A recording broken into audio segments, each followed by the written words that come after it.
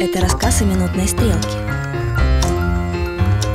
Она знала, что работа ее – посещать 12 могуществ и рассказывать об этом часовой стрелке.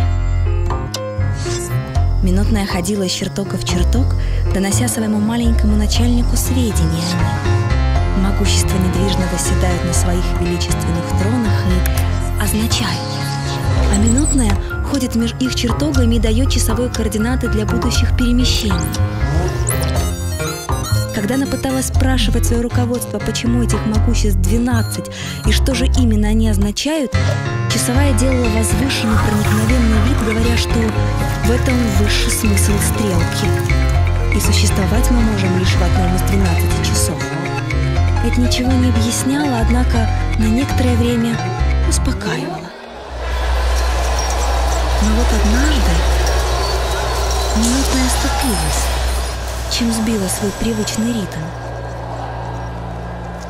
Сперва охватил невообразимый ужас, но после пришло понимание, что это так устроено.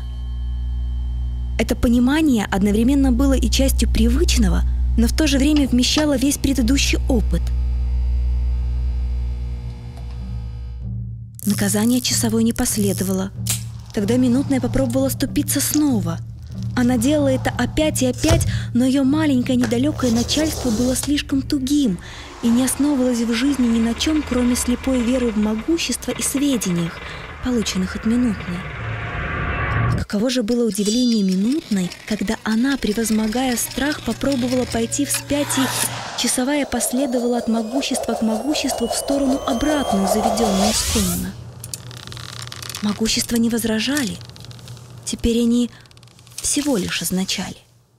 За счет смены ритма, скорости и направления движения минутная осознала, что часовая всего лишь ее проекция. Теперь на нее, ранее главенствующую, перестали обращать внимание, и она исчезла. Часовая всегда твердила, что на большие изменения нужно большее количество циклов.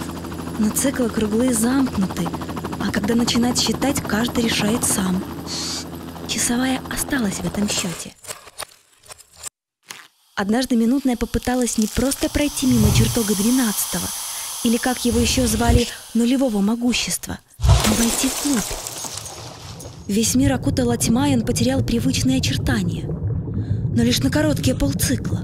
Затем на те же полцикла все затопил ослепительный свет – Минутная видела очертания новых могуществ, но не хотела их как-то именовать, потому что ей наскучил пантеон циферблата, а любой новый превратил бы только появившуюся свободу объема обратно в двунаправленную плоскость.